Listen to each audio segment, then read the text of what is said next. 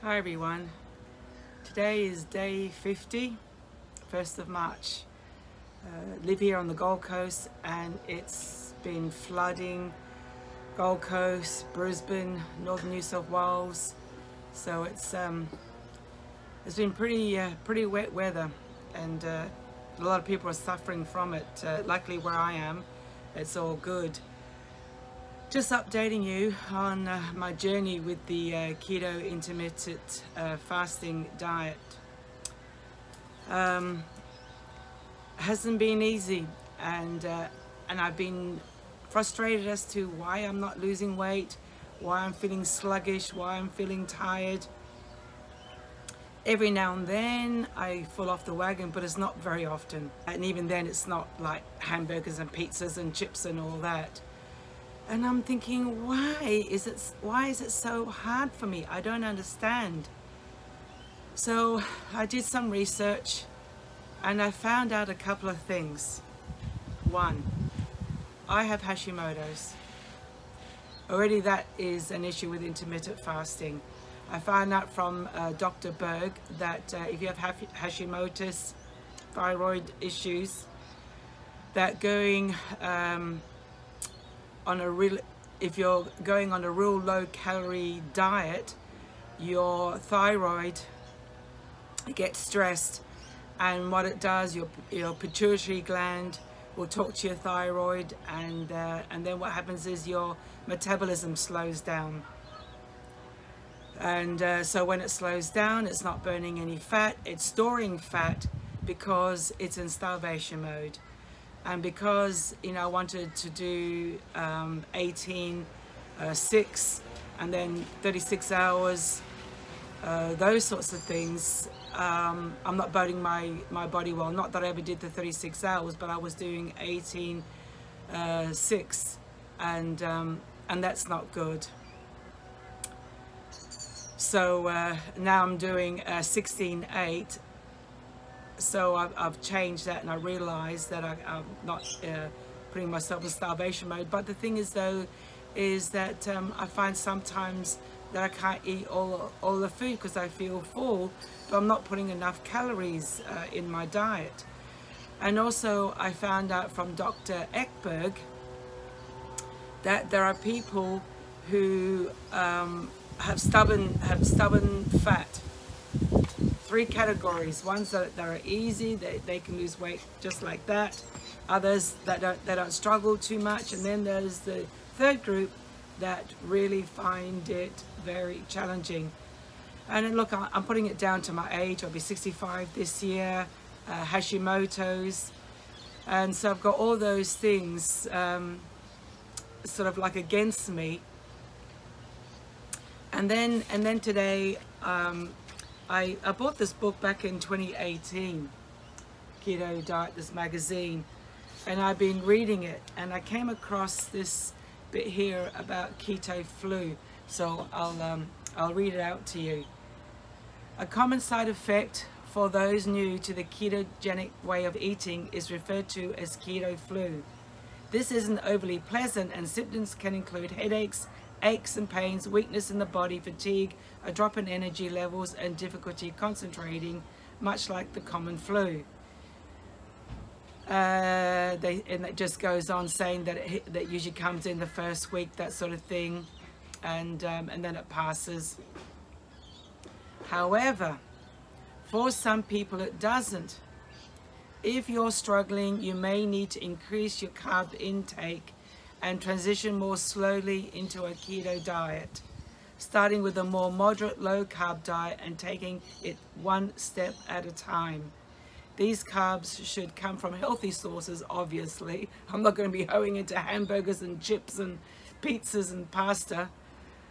Though I tell you, my father was Italian. We grew up on pasta and I love pasta. And it's been 50 days and I have not eaten pasta once and I'm missing it. I won't, I won't eat it, not at this stage. Once I'm on the Mediterranean diet, I'll have, I'll have pasta again once a week. Because uh, that's all I've had, had pasta was once a week. That was enough for me. Uh, only, because I love pasta so much, I can't stop myself from eating it. it's funny how um, uh, Dr. Mosley's uh, diet uh, and I cooked the meals. I had a beautiful mushroom uh, stroganoff last night and um, I couldn't eat it all and yet if it was a bowl of pasta I would eat it all and then want more. Go figure on that one. So I'll continue on. If you're experiencing keto flu, you can help yourself in a few ways. First, make sure that you're eating enough, which obviously I haven't been eating enough. Uh, it might sound obvious, but you need just as many calories as you did before, which, well, you know, I'm doing the, I'm doing the, um, the fast 800 keto diet, so obviously I'm eating uh, less anyway, uh, doing the eight to 900 calories. And, you know, I guess with the, um, with the thyroid issue. That's that's been the bane of my life in this um, in this journey. And uh, so uh, you know, I need more calories to function, and eating more can help with uh, keto uh, keto flu symptoms. So these calories should mostly come from fat. So I so what, when I read that, I thought, okay, look, um, I'm going to increase uh, my olive oil and my coconut oil. I bought some MTC oil coconut oil. And I'll add that more into when I do uh, cooking. So it's not going to be about just sticking to the eight, 900 kilo. It's about increasing my fat intake so that I don't compromise my thyroid and then become fatigued, lethargic. Uh, because um, even with um, exercising, I've been feeling very tired. Last uh, Saturday, I went to a uh, four-hour meditation resilience um, uh, event, unbeknownst to me, uh, included two hours of yoga. And I tell you, I have not been the same since doing that yoga. Uh, boy, that tell you what, those two hours of yoga really wiped me out. And obviously, you know, because uh, because um, my, my metabolism has been sluggish because of my diet and all that, it just it just exerted all that um, that uh, energy and it just made me more fatigued. So, uh, so also I made a decision that I'm going to go and see a naturopath. I'm, I'm seeing a naturopath to help me through this journey because naturopaths know a lot more about intermittent fasting than doctors do. Doctors will be good, they're just good for medication.